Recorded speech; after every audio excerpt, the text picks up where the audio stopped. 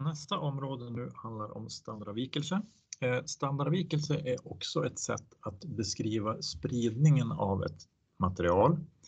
Precis som lådagram på förra avsnittet så var det ett sätt att visa hur utspridda saker och ting är. Eh, standardavvikelse är också ett mått på eh, hur utspridda saker är. Det finns där en formel på formelbladet som ser ut så här. S är lika med roten ur och så en massa konstiga saker. Ehm, den här kommer ni inte ha särskilt mycket användning av för att, därför att man behöver inte kunna det här och räkna det för hand utan vi ska använda digitala verktyg till det. Så då ska vi göra det. Ehm, så egentligen är det det mest att lära sig och sen lära sig att tolka lite grann vad det är för någonting. Men först bara lära sig hur man gör. Beräkna medelvärde och standardavvikelse för talen 3, 4, 7, 9 och 12 i ett stickprov. Och det här med stickprov är ju lite intressant därför att ändra gör man ju totalundersökningar. Och det gör man väldigt sällan. Till exempel gör man det i folkomröstningar att alla ska vara med och bestämma. Men det är väldigt struligt att göra det och ta mycket energi och kraft och pengar och så. Så oftast gör man stickprov och det är det vi kommer att räkna på hela tiden. Det kommer att ha lite betydelse. Okej, okay. vi kollar hur vi gör det där i GeoGebra.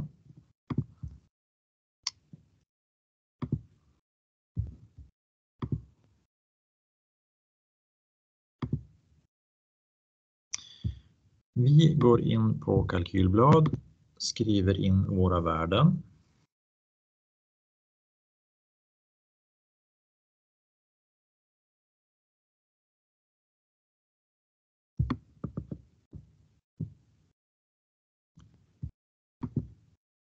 Vi gör en envariabelsanalys.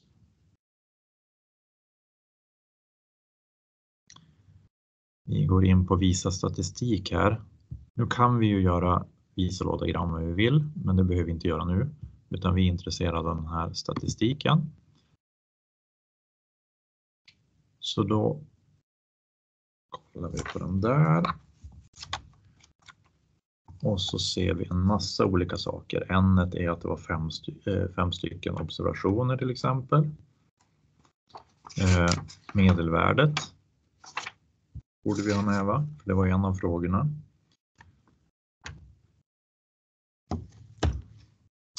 Eh, så där kan vi svara på en direkt. Medel är medelvärdet. då skriver vi att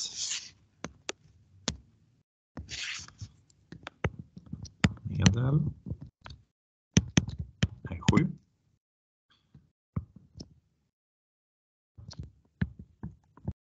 Sen skriver jag STDEV, standard deviation är det på engelska. Det är standardavvikelse. Och hur hittar man den då? Jo, då har vi lite mycket massa, massa, massa saker. Vi har här minsta värdet är 3, största värdet är 12, medianen, kvartilerna 1 och 3 och sen har vi de här. Det där kallas för sigma. Eh, det där är standardavvikelse för en totalundersökning och det är inte det vi ska kolla på. Vi ska kolla på S1.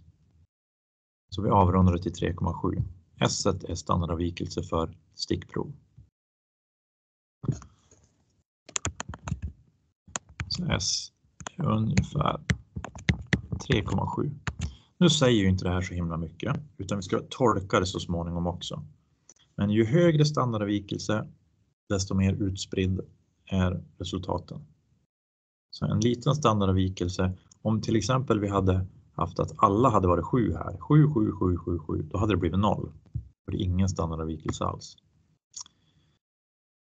Så högre, mer spridning. Och oftast så är ju mer spridning inte bra.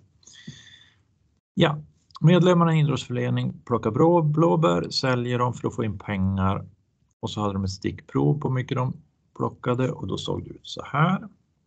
Vi ska räkna medelvärde och standardavvikelse. Ja, och då gör vi det igen. För att repetera hur vi gör. Vi rensar. Kalkylblad. Skriver in våra värden.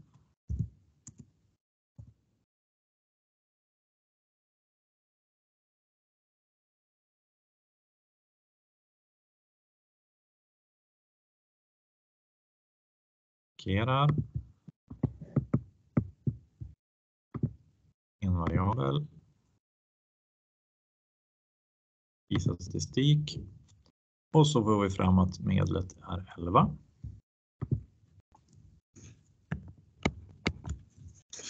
Och standardavvikelsen är S1 2,8.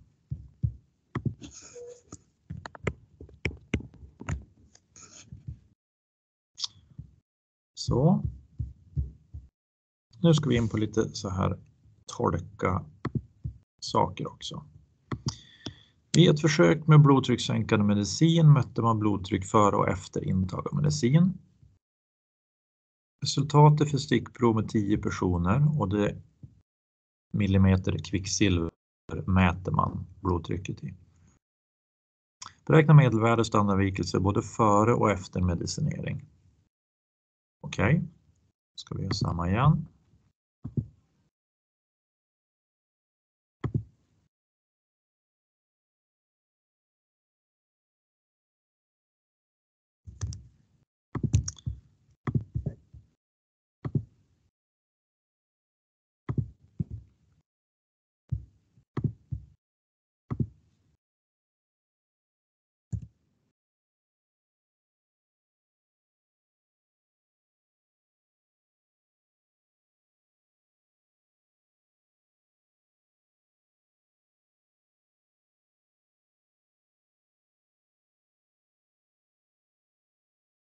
Jag skriver in alla värden på en gång.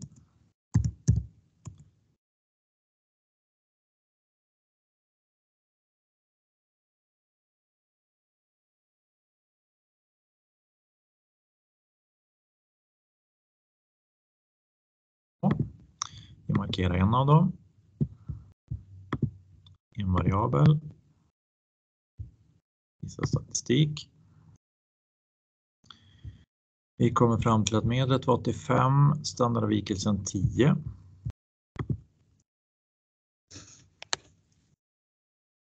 Så vi skriver före.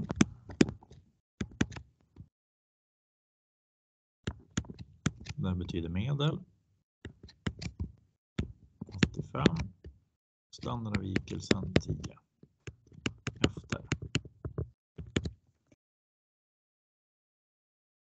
Nu ska vi se om det här funkar om jag markerar den andra. Mm, Och så får vi lite nya. Medel 74. Standardavvikelse 10,5. Medel 74. Standardavvikelsen 10,5. Okej, okay, vi har beräknat medel och standardavvikelse före och efter. Kan man säga att medicinen haft effekt? Okej, okay, före och efter. Medlet har sänkts från 85 till 74. Ja, det tyder ju på att det har sänkts blodtrycket och det var ju det man var ute efter. Högt blodtryck är inget bra. För blodtryckssänkande, vi vill ju sänka. Ja, medlet har sänkts. Standardavvikelsen är ganska likadan. Det betyder att spridningen är ungefär likadan. Då kan man ju faktiskt jämföra bara medlet, att medlet har sjunkit, spridningen är lika stor. Då kan man ju säga att effekten har, har haft. Så vi säger ja på det. Annat hade det varit om spridningen hade varit jättemycket större. Då hade det varit svårt att säga någonting. Men om spridningen är lika stor, medlet har sänkts då kan man säga att det har haft effekt. Okej, okay, en tolkning till. Eh, en ingenjör utvecklar batterier, två olika metoder och så gjorde stickprov. Beräkna medelvärde och standardavvikelse för bägge. Ja, då gör vi det.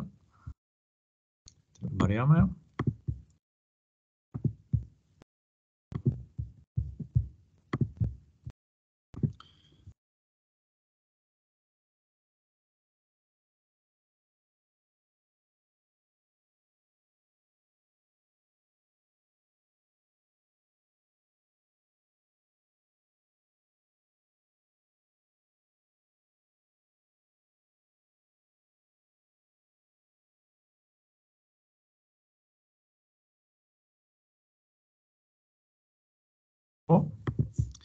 Vi räknar för den första, metod 1.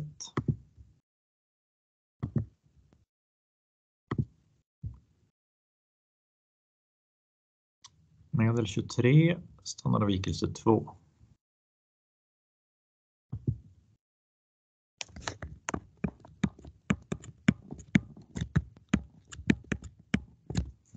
Vi räknar för den andra.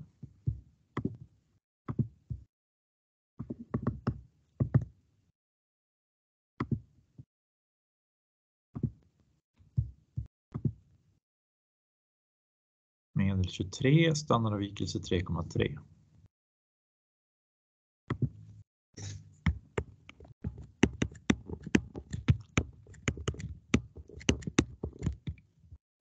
Så vi ser att det är samma medelvärde på båda, men standardavvikelsen högre på den andra än den första.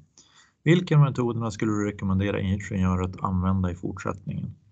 Okej, okay, vi har samma medelvärde, så på det viset är de lika bra.